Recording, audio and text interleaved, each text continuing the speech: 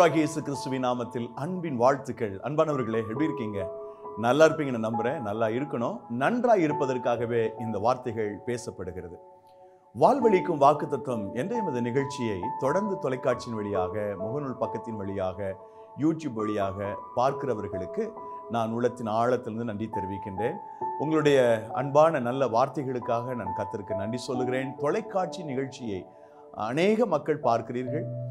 உங்களுடைய நல்ல பதிவுகளுக்காக உங்களுடைய அழைப்புகளுக்காக நான் கத்தருக்கு நன்றி சொல்லுகிறேன். என்னுடைய நோக்கம் என்பது சோர்ந்து போயிருக்கிற பிள்ளைகளுக்கு ஒரு புதிய உற்சாகத்தை கொடுக்க வேண்டும்.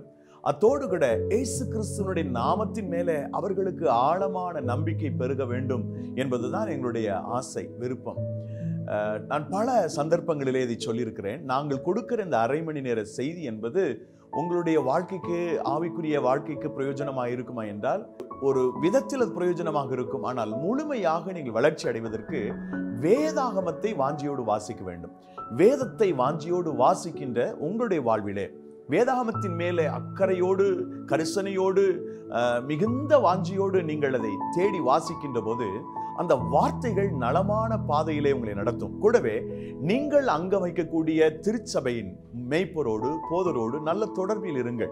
அவர்கள் கொடுக்கிற தேவ வார்த்தைகளை கவனித்து நடங்கள். அந்த வார்த்தைகள் உங்களுடைய வாழ்க்கையில மிகப்பெரிய ஒரு ஆசீர்வாதத்தை நன்மையை உயர்வை கொடுக்கும் என்பதிலே ஐயமில்லை சந்தேகமில்லை. எனக்கு அன்பான தெய்வத்தினுடைய பிள்ளைகளே இந்த நல்ல அருமையான ஆசிர்வதிக்கப்பட்ட இனிய நாளிலும் உங்களோடு இந்த நல்வார்த்தையை பகிர்ந்து கொள்வதிலே நான் மகிழ்வடைகின்றேன். இன்றைய தினத்திற்கான வாக்குத்தத்தம் என்ன என்றால் அஹ், எரேமியா தீர்க்கதரிசனாகமும் முப்பதாம் அதிகாரம் பதினேழாவது வசனத்தின் ஒரு பகுதி. அந்த வசனத்தை நான் உங்களுக்காக வாசிக்கின்றேன். நான் உனக்கு ஆரோக்கியம் வர பண்ணி உன் காயங்களை ஆற்றுவேன் என்று கர்த்தர் சொல்லுகிறார். ஆரோக்கியம் வர பண்ணுவேன் உன் காயங்களை ஆற்றுவேன் என்று சொல்லுகிறார். இந்த காயங்களை தேவன் ஆற்ற வேண்டும். நம்முடைய மனதில் நிறைய காயம் இருக்கிறது. வெறுமனே எழுத்தின்படி நம்முடைய தேகத்திலே நமக்கு ஏற்படுகிற காயம் என்பது ஒரு புறம்.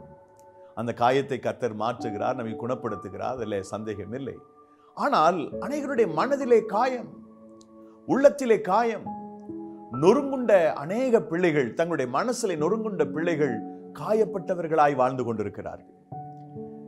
பொதுவா சாதாரணமா சொல்லுவாங்க கல்லடி பட்டாலும் சொல்லடி படக்கூடாதுன்னு சிலர் சொன்ன வார்த்தை நம்மளை மிகவும் பாதிக்கும். ஒரு வார்த்தை சொல்லிட்டா சொன்னதும் சொன்னா ஒரு வார்த்தை அந்த வார்த்தை நான் சாகிற வரைக்கும் மறக்காது நான் மறப்பேனா அப்படின்லாம் சிலர் சொல்றதை கேட்டிருப்பீங்கல்ல? அந்த ஒரு வார்த்தை இன்னைக்கு என் மனசு சுடுதுங்க. இன்னைக்கு அந்த வார்த்தையை என்னால ஜீரணிக்க முடியல. என்னை பார்த்தவன் இப்படி ஒரு வார்த்தை சொல்லிட்டாலே என்னை பார்த்தவன் ஒரு வார்த்தை சொல்லிட்டானே நின்னு அங்கலாய்க்கிற அநேக மக்களை இந்த உலகத்துல நம்ம பார்க்குறோம். ஒரு வார்த்தை அந்த வார்த்தை கடுஞ்சொல்லா இருந்ததுனால மனசை காயப்படுத்துகிறது மனசை வேதனைப்படுத்துகிறது. வெந்த புண்ணில் வேலை பாய்ச்சுற மாதிரி இருந்துச்சுங்க அவன் பேசினது அப்படின்னு சிலர் சொல்லுவாங்க. அந்த மாதிரி பல்வேறு சூழல்களுக்கு நடுவில் பலவிதமான கஷ்டத்துக்கு நடுவில் உங்களுடைய உள்ளம் காயப்பட்டு போயிருக்கலாம். உங்க மனசு காயப்பட்டு போயிருக்கலாம். எனக்கு அன்பான சகோதர சகோதரிகளை உங்களுடைய உள்ளத்திலே மனசுல இருக்கிற காயங்களை நான் ஆற்றுவேன்னு கத்தர் சொல்லுகிறார். உடைய சரீரத்தில் இருக்கிற பலகீனங்களை மாத்திரமல்ல உடைய சுகவீனங்களை மாத்திரமல்ல உடைய வியாதிகளை மாத்திரமல்ல உடைய மனதில் ஏற்பட்டிருக்கிற காயத்தை ஆற்றுவதற்கு நாம் ஆராதனை செய்கிற இந்த இயேசு போதுமானவராக இருக்கிறார். அன்பானவர்களே நிறைய நேரங்களில் நிறைய சந்தர்ப்பங்களில் நாம் வெளியில சொல்ல முடியாம மனசுலயே போட்டு வேதனைப்படுறோம். பல்வேறு கவலைகளையும் துக்கங்களையும் பாரங்களையும் நம்மளோட மனசுல நம்ம போட்டு கஷ்டப்படுறோம். இந்த மன கஷ்டத்தை இந்த மன பாரத்தை தேவன் மாற்றுவதற்கு போதுமான தேவனாக இருக்கிறார். இந்த உலகத்திலே மற்றவர்கள் காண்பிக்கிற அன்பை விட மற்றவர்கள் காண்பிக்கிற தயவை விட இவர் மிக பெரிய தயவுள்ளவராக அன்புள்ளவராக இருக்கிறார் என்பதற்கு அஹ், எத்தனையோ சாட்சிகளை நாம் சொல்லலாம். உங்களுடைய வாழ்க்கையில இன்றைக்கு அவர் உங்களுக்கு ஒரு அற்புதத்தை செய்ய முடியும் என்று நீங்கள் நம்புங்கள். நிச்சயமாக ஒரு பெரிய அற்புதத்தை நீங்கள் காண்பீர்கள். கத்தருடைய வாக்கின்படி இன்றைய நாள் அவர் கொடுத்திருக்கிற வாக்குத்தத்தின்படி என் அன்பு சகோதரனே சகோதரியே தாயே தகப்பனே தங்கச்சி உன்னுடைய வாழ்க்கையில் இருக்கிற எல்லா காயங்களையும் அவர் ஆற்றுவார். துக்கங்களை மறந்து விடுவதற்கு துயரங்களை மறந்து விடுவதற்கு உனக்கு ஏற்பட்ட அவமானங்களை மறந்து விடுவதற்கு உனக்கு ஏற்பட்ட சங்கடங்களை மறந்து விடுவதற்கு இந்த ஆண்டவரே உனக்கு உதவி செய்வார். உன்னுடைய வாழ்க்கையில மேன்மையானவைகளை உன்னுடைய கண்கள் காணும்படி தேவன் உனக்கு தய பாராட்டுவார் தைரியமாயிரு. தேவன் உன்னுடைய வாழ்விலே சிறந்த ஆசீர்வாதங்களை கொடுப்பதற்கு உண்மையிலவராக இருக்கிறார். ஆகவே இந்த காயங்கள் அஹ், ஏற்படுவதற்கு காரணங்கள் நிறைய இருக்குது. மிக குறிப்பாக நம்முடைய வாழ்வில காயங்களை கத்தர் ஆற்றுவதற்கு மூன்று விஷயங்களை ஞாபகத்தில் நீங்கள் வச்சுக்கணும் அப்படின்னு நான் விரும்புறேன். நம்பர் ஒன் என்னன்னா நம்முடைய ஜீவிதத்தில் தேவன் அல்லாதவைகளை நாம் நாடி தேடும் பொழுது தேவன் மேல் வைக்க வேண்டிய நம்பிக்கை தேவனுக்கு கொடுக்க வேண்டிய கணம் இவைகளை விட்டு விடுகிற போது அஹ், சாத்தான் நம்மை மிஸ்கைட் பண்ணி விடுகிறார். அதாவது அவருடைய சமூகத்தை விட்டு நாம் காணாமல் போய் விடுகிறோம். அவரை விட்டு வெகு தூரத்தில் போய் விடுகிறோம். இது நாம இயல்பா ஒரு விதமான பிசாசனுடைய செட்டப்புக்குள்ள இருக்கிறது. இந்த உலகத்தில் அப்படி அநேகர் இருக்கிறார்கள். ஏன் மக்கள் காயங்களோடு வாழ்கிறார்கள்? ஏன் மக்கள் துயரத்தோடு வாழ்கிறார்கள்? அநேகர் தங்களை தாங்களை மாய்த்துக் கொள்கிறார்களே காரணம் என்னன்னு சொன்னா அவர்கள் தேவனை விட்டு வெகு தூரத்தில் இருக்கிறார்கள். தங்களுக்கான ரட்சகர் பக்கத்தில் இருந்தாலும் அவரை தேடுவதற்கான மனதில்லை. அவர்கள் தேவனுடைய அந்த பிரசனத்தை விட்டு தேவனுடைய அந்த ஆளுகையை விட்டு வெளியில் இருக்கிறார்கள். அதை விரும்புவதில்லை. ஆகவே அப்படிப்பட்டவர்கள் காயத்தோடு இந்த பூமியிலே வாழ்கிறார்கள். எஸ்ஐயா தீர்க்கதரிசியினுடைய புத்தகத்திலே அதை குறித்த வசனங்களை நிறைய பார்க்கலாம். ஏன் காயத்தோடு வாழ்கிறார்கள் ஏன் மனசுல அந்த சோர்வு? ஏன் மன அழுத்தம்னு சொன்னா தேவனுடைய பட்சத்தில் அவங்க வந்துட்டாங்கன்னா அதுக்கு எல்லாத்துக்கும் ஒரு தீர்வு இருக்குது. ஆனால் தேவன் அல்லாதவைகளை இவர்கள் தேடுகிறார்கள். தேவனுக்கு கொடுக்க வேண்டிய இடத்தை அவங்க கொடுக்கல. தேவனுக்கு கொடுக்க வேண்டிய கணத்தை கொடுக்கல. ஆகவே வெகு தொலைவில் இருக்கிறார்கள். அது முதல் காரணம். இப்போ நம்ம என்ன பண்ணணும்னா தேவனுடைய சமூகத்தை நம்ம தேடணும். அவர் உங்களை காயங்களை ஆற்றணும்னு விரும்புனீங்கன்னா அவர்கிட்ட வந்துடணும்.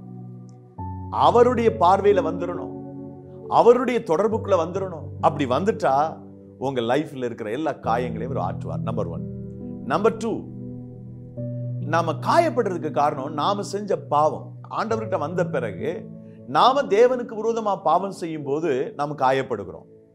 நாம் காயப்படுவதற்கு இரண்டாவது முக்கிய காரணம் நாம பாவம் செய்ததுனாலே நாம தவறு செய்ததுனாலே நாம் அக்கிரமம் பண்ணினதுனாலே நம்முடைய வாழ்க்கையில மீறுதல் இருக்கிறதுனால நம்முடைய ஜீவிதத்துல ஆண்டவர் அஹ், இந்த ஏற்பட்டிருக்கிற காயங்களை அவர் மாற்றுகிறார். நாம் பாவத்தை உணரும் போது பாவம் செய்வதனால இந்த காயம் அதை நாம் உணரும் பொழுது அவர் நம்முடைய காயங்களை மாற்றுகிறார். மூன்றாவது இந்த காயம் வருவதற்கான காரணம் என்ன திரும்பவும் நாம் ஆண்டவர்கிட்ட வந்த பிறகு நம்முடைய பாவங்களை மன்னிச்ச பிறகு மறுபடியும் நீங்க தேவனுடைய சித்தம் இல்லாதவர்களை செய்கிற போது அவர் அதன் பிறகு பொறுத்திருக்க மாட்டாமல் நம்மை அடிக்கிறார். அவரே அடிக்கிறார் தேவனே. தேவனே நம்மை தண்டிக்கிறார். அவர் நம்மை காயப்படுத்துகிறார். ஆகவே நம்முடைய வாழ்க்கையில அவ்விதமான காயம் வருகிறது. இந்த மூன்று விதமான காயங்களையும் அவர் ஆற்றுவதற்கு போதுமானவராக இருக்கிறார். இந்த மூன்றை பத்தி தான் நான் இன்னைக்கு உங்களோட பேச போறேன். நம்பர் ஒன் என்னன்னா நாம தேவன் அல்லாதவைகளை நாம் தேடுகிறோம் தேவனை விட்டு விடுகிறோம். தேவனுக்கு கொடுக்கக்கூடிய அந்த இடத்தை கொடுக்காமல் தேவன் வச்ச இடத்தில் இல்லாம வெகு தொலைவில் போய் விடுகிறோம். ஆகவே நம்முடைய வாழ்க்கையில காயம் வருகிறது. ஏன் என்னுடைய வாழ்க்கையில நான் காயப்பட வேண்டும்? தேவனை விட்டு வெகு தூரம் நான் போயிட்டேன். தேவனை விட்டு ரொம்ப டிஸ்டன்ஸ்ல நான் இருக்கிறேன். ஆகவே நான் காயப்பட வேண்டிய ஒரு சூழ்நிலைக்கு நேராக தள்ளப்பட்டிருக்கிறேன். ஒரு வசனத்தை நான் எசேக்கியல் தீர்க்கதரிசன புஸ்தகத்திலிருந்து வாசிக்க விரும்புகின்றேன். எசேக்கியல் தீர்க்கதரிசன புஸ்தகம் முப்பத்தி நான்கு பதினாறு. நான் காணாமற் போனதை தேடி துரத்துண்டதை திரும்ப கொண்டு வந்து எலும்பு முறிந்ததை காயங்கட்டி நசல் கொண்டதை திடப்படுத்துவேன். நியாயத்துக்கு தக்கதாய் அவைகளை மேய்த்து புஷ்டியும் பலமுள்ளவைகளை அழிப்பேன். எலும்பு முறிந்ததை நயங்காட்டி யாருடைய எலும்பு முறிந்ததுன்னு கேட்டால் காணாமல் போன ஆடு. காணாமல் போன ஆட்டினுடைய எலும்பு முறிந்து போன இவர் நல்ல மெய்ப்பன். அவர் God is a good shepherd அவர் நல்ல மெய்ப்பன். தொலைந்து போன அந்த ஒரு ஆட்டை தேடி போன ஒரு மேய்ப்பனை குறித்து ஆண்டு ரோமானத்தில் சொல்லுகிறார். தேவன் வச்ச இடத்துல இல்ல. தொலைந்து போன ஒரு ஆட்டை மேய்ப்பன் தேடுவது போல ஆண்டவர் நம்மை தேடுகிறார். அங்கே நாம் வழிமாறி போய் காயப்பட்டு எலும்பு முறிந்து இருக்கிற பொழுது நம்மை தூக்கி எடுத்து தோல்வியில் மேல் போட்டுக்கொண்டு வந்து அதற்கு காயங்கட்டி நமக்கு காயங்கட்டி நம்முடைய வேதனை நீங்க அவர் நம்மை சரிப்படுத்துகிறார் ஔஷதமாக இருக்கிறார் நம்மை குணப்படுத்துகிறார். வழி தெரியல. தேவனை விட்டுட்டு வெகு தூரத்துல நாம் இருந்தோம். துன்பங்கள் துயரங்கள் வேதனைகள் நம்மை தொடர்ந்து பிடித்தது. அதே ஓமானத்தில் அதாவது லூக்கான செய்தியாளன் பதினஞ்சாம் அதிகாரத்தில் கொடுத்திருக்கிற ஓமானத்தில் ஒரு ஓமானம் இரண்டு மகன்கள். மூத்தம் அப்பாவுக்கு சொல்லபடி கேட்டு நடந்தான். இரண்டாவது பையன் இளையவன் தன்னுடைய ஆஸ்தி பிரித்து கேட்டு வெகு தூரத்துக்கு போனான் அங்கே தன்னுடைய ஆஸ்தியை அழித்து போட்டான். தவறான சேர்க்கையில தன்னுடைய ஆஸ்தி முழுவதையும் அழித்து போட்டான். இப்போது அவனுடைய வாழ்க்கையில ஒரு மிகப்பெரிய முடமான நிலை. பன்றிக்கு போறக்கூடிய தவிடு கூட அவனுக்கு கிடைக்கல. ஆகவே அவன் உணர்வடைகிறான். தகப்பனுடைய எல்லையை விட்டு வெகு தூரத்திலே காணாமல் போன அந்த மகன் இப்பொழுது உணர்வடைகிறான். ஏனென்றால் காயம் மனக்காயம் நண்பர்கள் எல்லாம் அவனை விட்டு விட்டு போய் விட்டார்கள் பணம் குறைய குறைய நண்பர்கள் கூட்டம் குறைய துவங்கியது. கடைசியில அவனுக்கே சாப்பாடு கிடைக்கல. அவன் உணர்வடைந்தான். பாருங்கள் அந்த தகப்பன் காணாமல் போன தன்னுடைய மகனை சேர்த்து கொண்டு அவனுக்கு காயம் கட்டுகிறான். அவனுக்கு காயம் சரீரத்தில் எழுத்தின்படி காயம் இல்லை மனதிலே காயம். அவனை குளிர்விக்கிறான். அந்த மனதின் காயத்தை ஆற்றுவதற்கு தகப்பன் செய்வதை பாருங்கள். ஓடி போய் கட்டி பிடித்து முத்தம் கொடுத்து என் மகன் காணாமற் போனான் இப்பொழுது கண்டுபிடிக்கப்பட்டு விட்டான். தொலைந்து போனான் இப்பொழுது கிடைத்து விட்டான். கொளுத்த கன்றை அடியுங்கள். அவனை குளிக்கச் சொல்லி அவனுக்கு புத்தாடைகளை கொடுத்து பாதரட்சைகளை மாட்டி அவனுக்கு ஒரு மோதிரத்தையும் அவனுக்கு கொடுத்து கொளுத்த கன்றை அடித்து பெரிய விருந்து பண்ணினான். இந்த செயல்பாடு அந்த இளைய மகனுடைய மனசில் இருந்த காயம் எல்லாத்தையும் மாற்றியது. எல்லா விதமான ஆசீர்வாதங்களை இழந்து மிக மோசமான நிலையில நீங்க இருக்கிறீங்களா? ஆண்டவரை விட்டு வெகு தூரத்துல போனதுனால எல்லா ஆசீர்வாதங்களையும் தொலைத்து விட்டீர்கள். எல்லாம் உங்க கையை விட்டு போயிடுச்சு. மன வேதனை நிந்தையை அவமானத்தோடு கூட நீங்கள் வாழ்கிறீர்கள். இந்த ஆண்டவர் காணாமல் போன உங்களை தேடி கண்டுபிடிப்பதற்காகத்தான் இந்த செய்தியை கூட அவர் கேட்க வைத்திருக்கிறார். ஆண்டவருக்கு ஒரு நேரம் கொடுங்கள். இயேசுவை நான் உண்மை நம்புகிறேன் என்று சொல்லுங்கள். ஆண்டவர் நீர்தான் என்னுடைய காயத்தை மாற்ற முடியும் என்று சொல்லுங்கள். நீர்தான் என்னுடைய மன வேதனைகளை மாற்ற முடியும் என்று சொல்லுங்கள். ஆண்டவர் வருவார். உங்களை தேடி கண்டுபிடித்து மார்போடு அணைத்துக் கொள்வார். உங்களுடைய காயங்களை அவர் ஆற்றுவார். உங்களுடைய காயங்களை கட்டி அந்த காயம் ஆறும்படிக்கு அவர் உதவி செய்வார். அன்பு சகோதர சகோதரிகளை மூவாப் தேசத்தில் போய் பஞ்சத்துக்கு தப்பி போய் பிழைக்கலான்னு சொல்லி போனா ஒரு மனிதன் தன்னுடைய மனைவி இரண்டு பிள்ளைகளோடு. ஆனால் அந்தோ பரிதாபம். மோவாப் தேசத்திலே அந்த புருஷனும் அவனுடைய இரண்டு பிள்ளைகளும் மறித்து போனார்கள். விதவை தாயான அந்த நகோமி மறுபடியும் வெறுமையானவளாக ரூத்தோடு கூட தன் மற்றொரு மருமகள் அவளும் விதவை பெத்லேஹமுக்குள்ளே வந்தார்கள். குறைவுபட்டார்கள் தேவன் இருக்க சொன்ன இடத்துல இல்லாம அவரை விட்டு வெகு தூரத்துல போன அந்த குடும்பம் வெறுமையான குடும்பமாக திரும்பி வந்தது. அந்த நகோவினுடைய காயத்தை கத்தர் ஆற்றினார். போவாசுக்கும் ருத்துக்கும் திருமணம் நடந்தது. மிகப்பெரிய மாற்றத்தை அவர்கள் சந்தித்தார்கள். அன்பான கத்தருடைய பிள்ளைகளே உடைய காயங்களை அவர் ஆற்றுவதற்கு முதலாவது காயங்களை கட்ட வேண்டும் அல்லவா? காணாமல் போன உங்களை தேடி கண்டுபிடித்து உடைய காயங்களை கட்டுவார். முறிந்து போனதை கட்டுவார். நீங்கள் சுகமடைவீர்கள். இரண்டாவது நம்முடைய தப்பிதங்கள் நம்முடைய பாவங்கள் நம்முடைய அநியாயங்கள் நம்முடைய அக்கிரமங்கள் இவைகளினாலே நாம் காயப்பட்டு போயிருக்கிறோம். காயம் ஏன் வந்தது? எனக்கு ஏன் காயம்னு சொன்னா என் பாவத்தினால என் தவறினால் அந்த காயம். ஆகவே அந்த பாவத்திற்கான தண்டனையை கொடுப்பதற்கு அவர் நம்மை சிக்ஷிக்கிறார். நம்மை அடிக்கிறார். நாம் செய்த பாவத்தினாலே நமக்கு தண்டனை கிடைக்கிறது. ஒசியா புஸ்தகம் ஆறு ஒன்று யோபு ஐந்து பதினெட்டு வசனங்களை பாருங்கள். அவர்தான் காயப்படுத்தி காயம் கட்டுகிறார் என்று சொல்லப்பட்டிருக்கிறது. ஏன் எனக்கு இந்த காயம்? ஏன் எனக்கு இந்த மனவேதனை? ஏன் எனக்கு இந்த கஷ்டம்னு சொன்னா நான் தப்பு பண்ணிட்டேன் பாவம் பண்ணிட்டேன். என்னுடைய பாவத்தினாலே என்னுடைய அக்கிரமத்தினாலே எனக்கு கொடுத்த தேவன் கொடுத்த தண்டனை இது. அவர் நான் கோபத்தினாலே அவர் அவர் தன்னுடைய கோபத்தினாலே தண்டிச்சா ஒன்னும் இல்லாம போயிருப்பேன். அவர் என்னை மட்டாய் தண்டித்திருக்கிறார். அவர் என்னை சிக்ஷித்திருக்கிறார் இந்த காயம் ஏற்பட்டதற்கு காரணம் நான் செய்த தவறு நான் செய்த பாவம். அதை நாம் உணரணும். ஏன் உங்களுக்கு இவ்வளவு வேதனையான ஒரு வாழ்க்கை? ஏன் நீங்க கண்ணீரோட இருக்கணும்? எல்லாம் நல்லபடியா இருந்துச்சே. ஏன் நீங்க இப்ப துக்கமா இருக்கணும்? ஏன் வேதனையோட வாழணும்? ஏன் அவமானப்படணும்? யோசித்து பாருங்க. தேவனுக்கு பிரியமில்லாத ஏதாகிய ஒரு காரியத்தை நாம் செய்திருந்தால் தேவன் அதற்காக நம்மை சிக்ஷிக்கிறார் அதற்காக நம்மை தண்டிக்கிறார். என் அருமை சகோதர சகோதரிகளே உங்களுடைய வாழ்விலே உங்களுடைய ஜீவிதத்தில் ஆண்டவர் மகத்துவமான நன்மைகளை அற்புதங்களை செய்வதற்கு அவர் விரும்புகிறார். நீங்கள் ஆயத்தமா இருக்கீங்களா? பாவத்தை அறிக்கையிடுங்க அநியாயத்தை அறிக்கையிடுங்க எஸ்ஐயா திருக்கதரிசி தன்னுடைய முதல் அதிகாரத்திலே இப்படி எழுதுகிறான். எஸ்ஐயா ஒன்று ஆறு உள்ளங்கால் தொடங்கி உச்சம் தலை மட்டும் அதிலே சுகமில்லை. அது காயமும் வீக்கமும் நொதிக்கிற ரணமும் உள்ளது. அது சீல் பிதுக்கப்படாமலும் கட்டப்படாமலும் எண்ணெயினால் ஆற்றப்படாமலும் இருக்கிறது என்று எழுதுகிறான். முழுவதுமாக காயப்பட்டு போயிருக்கிறது. முழுவதுமாக அது சுகமில்லாமல் இருக்கிறது என்று சொல்லுகிறான். காரணம் தேவனுக்கு விரோதமாய் செய்த பாவம். தேவனுக்கு விரோதமாய் செய்த அக்கிரமம். ஆண்டவருக்கு விரோதமாக காணப்பட்ட குறைவுகள் அதுதான் காரணம். சொல்லுகிறார் மூணாவது வசனத்துல மாடு தன் நிஜமானனையும் கழுதி தன் ஆண்டவனை முன்னணியும் அறியும். இஸ்ரவேலோ அறிவில்லாமலும் என் ஜனங்கள் உணர்வில்லாமல் இருக்கிறாங்களேன்னு வருத்தப்படுறார். அன்பானவர்களே நாம் எப்பொழுதெல்லாம் தேவனுக்கு விரோதமாய் தவறு செய்கிறோமோ எப்பொழுதெல்லாம் ஆண்டவருக்கு விரோதமாக நம்முடைய வாழ்க்கையில் அக்கிரமங்களும் மீறுதலும் காணப்படுகிறதோ அப்பொழுதெல்லாம் அவர் நம்மை சிச்சிக்கிறார் அவர் நம்மை தண்டிக்கிறார். நம்மை சரிப்படுத்துவதற்காக அவர் எதிர்பார்க்கின்ற அந்த ட்ராக்ல நம்மை கொண்டு வருவதற்காக நம்மை சிக்ஷிக்கிறார் அவர் அவர்தான் நம்மை காயப்படுத்தினார். அவரே நம்முடைய காயத்தை ஆற்றுவார். ஒருவேளை நீங்கள் அப்படி காயப்பட்டிருக்கிறீர்களா? மிகப்பெரிய காயம் மிகப்பெரிய வேதனை என் வாழ்க்கையில இருக்குன்னு சொல்லக்கூடிய நிலையில நீங்க இருக்கீங்களா? உங்களுக்காக தான் ஆண்டவர் பேசிட்டு இருக்கிறார். உங்களுடைய காயத்தை அவர் கட்டுவார். தாவிதனுடைய வாழ்க்கையில மிகப்பெரிய ஒரு பாவம். அதற்காக தேவன் தாவிதை அடித்தார். அவனை சிக்ஷித்தார். அவன் காயப்பட்டான். மிகுந்த மனம் உடைஞ்சு போய் வேதனையோடு அவன் இருந்தான்.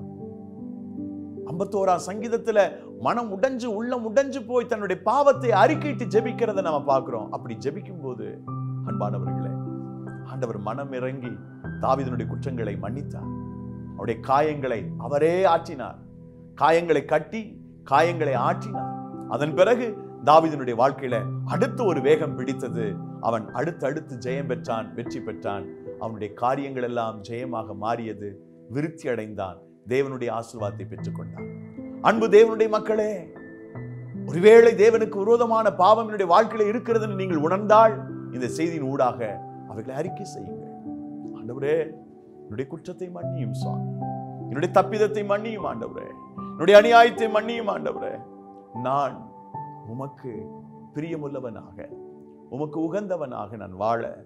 தேவனே என்னுடைய வாழ்க்கையில ஒருபோதும் காயம் இல்லாதபடி எப்போதும் ஆரோக்கியமானவனாக இருக்க எனக்கு உதவி செய்யும் என்று நீங்கள் ஜெபம் பண்ணுங்கள். அப்படி செய்யும் போது கர்த்தனுடைய வாழ்க்கையில மிக மாற்றங்களை தந்து உங்களை ஆசிர்வத்து உயர்த்துவார். பாருங்கள் ஒரு மாற்றம் நிச்சயம் இருக்கும். எந்த ஒரு மனுஷன் தன்னுடைய தப்பிதத்தை தன்னுடைய பாவத்தை தன்னுடைய அநியாயத்தை தன்னுடைய மீறுதலை உணர்கிறானோ அந்த மனுஷனுடைய வாழ்க்கையில மிகப்பெரிய மாற்றங்களை ஆண்டவர் கொடுத்து அவனை ஆசிர்வதிக்கிறார். மூன்றாவதாக பொதுவாகவே இந்த உலகத்தில் நடக்கிற சில மாற்றங்கள் சரியா நாம் ஜெபம் பண்ணி நாம தேவனை பின்பற்றி போகாத போது பல்வேறு காரணங்களினாலே நம்முடைய உள்ளம் நொறுங்குகிறது. நொறுங்குண்டவர்களை கத்த தெரிந்து கொண்டு அவருடைய காயங்களை அவர் கட்டுகிறார் காயங்களை ஆற்றுகிறார். அறுபத்தி ஒன்றாவது அதிகாரம் ஏசாயா முதல் வசனத்துல இப்படி நான் வாசிக்கிறோம். கத்ராகிய தேவனுடைய ஆவியானவர் என் மேல் இருக்கிறார். சிறுமைப்பட்டவர்களுக்கு சுவிசேஷத்தை அறிவிக்க கத்தரனை அபிஷேகம் அணினார். இருதயம் நொறுங்குண்டவர்களுக்கு காயங்கட்டுதலையும் சிறைப்பட்டவர்களுக்கு விடுதலையும் கட்டுண்டவர்களுக்கு கட்டவிழ்க்கதலை கூறதும் என்று அந்த வசனம் ஆரம்பிக்கிறது. இருதயம் நொறுங்குண்டவர்களுக்கு காயங்கட்டுதலை இந்த உலகத்துல நிறைய பிரச்சனைகளை நாம் சந்திக்கிறோம். சரியா ப்ரேயர் பண்ணி ஆண்டவருடைய கைடன்ஸ் இல்லாம நம்ம செய்யும் போது நாம காயப்படக்கூடிய நிலைக்கு தள்ளப்படுறோம். இப்படி உலகத்துல அநேகர் காயப்பட்டு போய் துக்கத்தோடு வேதனையோடு வாழ்கிறார் பிரியமானவர்களே தேவனாயி கர்த்தருடைய விருப்பம் என்ன என்பதை தெரிந்து கொள்ளாம ஆண்டவர் இதை குறித்து என்ன சித்தம் வச்சிருக்கிறாரு என்ன நோக்கம் வச்சிருக்கிறாரு எதையுமே அறியாம அதுல பெரிய அளவுக்கு அக்கறை கொள்ளாமல் டிராவல் பண்ணக்கூடிய நிறைய பேரு நொறுக்கப்படுறாங்க. இறுதியை நொறுங்குண்டு போகுது. அது மாத்திரம் இல்ல தான் விரும்பினது ஒன்று நடக்கலைன்னும் போது உள்ளம் உடைஞ்சு போயிடுது. பல்வேறு காரணங்களினால இருதயம் நொறுக்கப்படுது. அப்படி நீங்கள் ஏதாகிற ஒரு விதத்தில் நொறுக்குண்ட நிலையில நீங்க இருந்தா உங்க மனசின் காயத்தை ஆற்றுகிறதற்கு இயேசு கிறிஸ்து போதுமானவராக இருக்கிறார். உங்களுடைய உள்ளத்தில் இருக்கக்கூடிய காயங்களை ஆற்றுவதற்கு ஆண்டவர் போதுமானவராக இருக்கிறார். அண்ணால பாருங்களேன் அண்ணாளுடைய லைஃப்ல ஒரு ஒரு ஆண் குழந்தை கிடைச்சிட்டா போதும் ஆண்டவரேன்னு ஜெபம் பண்ணினான். ஒருவேளை முன்பதாக அவள் ஜெபித்திருக்கலாம் ஆனால் ஒரு நாள்ல அவள் மிகுந்த மனம் உடைஞ்சு போய் உள்ள நொறுங்கி மனசு உடைஞ்சு போய் அந்த அம்மா ஜெபிக்கிறத நம்ம பார்க்கிறோம். ஒண்ணு இல்லை நான் மனக்லேசமுள்ள ஸ்ரீ என் ஆண்டவருடைய சமூகத்தில் இருதயத்தை ஊற்றி விடுகிறேன் என்று சொன்னால் உள்ளம் உடைஞ்சு போனா? இருதயம் நொறுங்கி அவள் விண்ணப்பித்தாள். இருதயம் நொறுங்கி அவள் மன்றாடினாள். பிரியமானவர்களே என்ன நடந்துச்சு? ஏழி மூலம் கத்தர் பேசின சமாதானத்தோட போ அன்னாள். சமாதானத்தோட போ. அதன் பிறகு அவள் துக்குமுகமா இருக்கல. உற்பவித்திட்ட காலத்துல ஒரு ஆண் மகனை பெற்றுக்கொண்டாள். அன்றைக்கு அந்த உள்ளம் நொறுக்கப்பட்ட அந்த பெண்மணியினுடைய காயத்தை கத்தாள் என்ன காயம் அது? குழந்தை இல்லைன்ற காயம் தான். இந்த உலகத்துல எத்தனை பேர் குழந்தை இல்லாம வேதனைப்படுறாங்க தெரியுமா? கடந்த வாரம் ஒரு சகோதரி எனக்கு தொலைபேசியில் தொடர்பு கொண்டு சொன்னாங்க பிரதர் குழந்தை இல்லாம நான் ரொம்ப வேதனைப்பட்டேன். நாற்பது வருஷத்துக்கு பிறகு ஆண்டவர்களுக்கு ஒரு பாக்கியத்தை கொடுத்தாருன்னு சொன்னாங்க. அதை கேட்கும்போது எனக்கு ரொம்ப ஆச்சரியமா இருந்தது. எனக்கு பையன் இந்த வயசுல கத்தர் கொடுத்தாருன்னு சொன்னாங்க அதை. அப்படி சொல்லும்போது எனக்கு அவ்வளவு மகிழ்ச்சி. இந்த சகோதரிக்கு ஆண்டவர் எவ்வளவு இரக்கம் செஞ்சுருக்கிறார். அந்த மாதிரி நிறைய பேரை நான் பார்த்திருக்கிறேன் கடந்த நாட்களில். பதினேழு ஆண்டுகள் குழந்தை இல்லாம ஒரு சகோதரி மிகுந்த வேதனையோடு இருந்த ஒரு சகோதரியை நான் அறிவேன். பதினேழு வருஷத்துக்கு பிறகு அந்த மகளுக்கு ஒரு குழந்தை பாக்கியத்தை கற்றுக் கொடுத்தார்.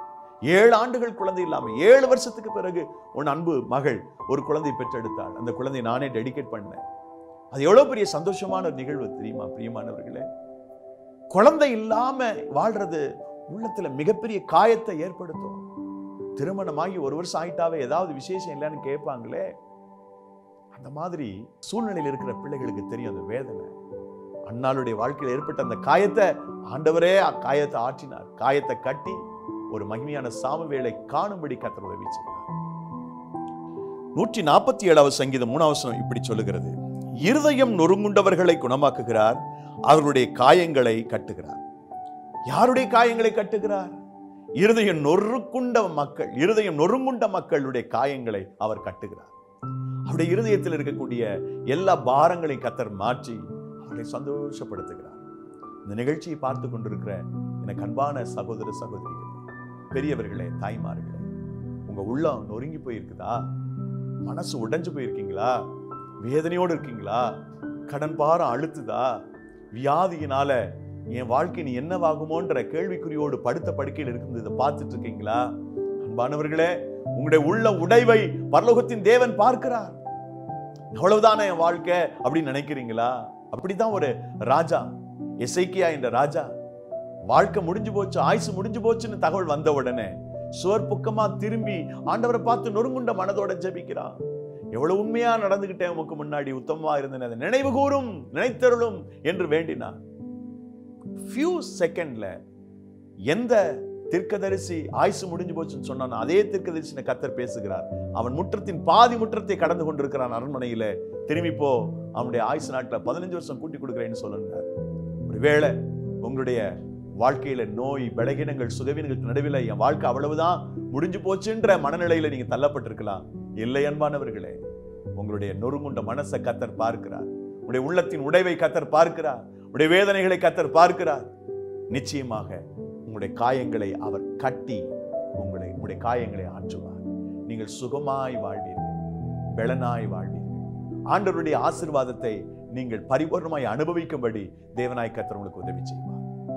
வேதாகமத்திலே ஆதியாகமம் தொடங்கி வெளிப்படுத்தின விசேஷம் வரைக்கும் பாருங்க அப்படி எ- எங்கெல்லாம் மக்கள் உள்ளம் உடைஞ்சு போய் ஆண்டவர் நோக்கி பார்க்குறாங்களோ அவங்களுக்கு உடனே கத்தர் இறங்கி அவர்களுக்கு ஒரு அற்புதம் செய்து அவர்களை ஆசீர்வதித்திருக்கிறார் ஆகவே இன்றைக்கான செய்தி என்னன்னா உங்க காயங்களை அவர் ஆற்ற வேண்டி சொல்லியிருக்கிறார் காயங்களை ஆற்றுவதற்கு முதலாவது காயங்களை கட்டணும் மிக முக்கியமாக ஒரு ஒற்றை வார்த்தையில் ஒரு நிபந்தனை சொல்லணும்னு அந்த ஆசீர்வாதத்தை பெற்றுக்கொள்வதற்கு பாவங்களை விட்டு விடுங்க பாவங்களை விட்டுருங்க. உங்க லைஃப்ல உங்க வாழ்க்கையில உங்கள் எல்லா காயத்தையும் இவர் ஆற்றுவார் உங்களை சந்தோஷப்படுத்துவார். ஜெபம் பண்ணுவோம். நேசிக்கிற எங்கள் பரலோக தந்தையே ஆசிர்வாதம் என இந்த அருமையான இனிய வேலைக்காக நன்றி. ஆண்டவரே இந்த வார்த்தைகளை பார்த்தும் கேட்டுக்கொண்டிருக்கிற எங்களுடைய அன்பு சகோதர சகோதரிகள் ஒவ்வொருவரையும் ஆசிர்வதி உடைய பிள்ளைகளுடைய மன காயங்களை நீர்தான் ஆற்ற வேண்டும். உள்ளம் உடைஞ்சு போயிருக்கிற பிள்ளைகள் மனதில் ஆறுதல் இல்லாமல் இருக்கிற பிள்ளைகளுடைய ஆண்டவரை தகப்பன சூழ்நிலைகளை மனதின் எண்ணங்களை நீ மாற்றுவீராக. உடைய பிள்ளைகளுக்கு ஒரு அற்புதம் செய்யும். Lord do something for them Lord தேவனே உடைய பிள்ளைகளுக்காக ஏதாகிலும் ஒரு மாற்றம் நீ செய்தே ஆக வேண்டும் என்று உடைய ஊழிக்கான அடிமை ஜெபிக்கிறேன். இப்பொழுதே ஒரு அற்புதம் நிகழ்கிறதற்காக நன்றி. இயேசுவின் நாமத்தில் ஜெபிக்கிறோம் நல்ல பிதாவே. ஆமென். God bless you.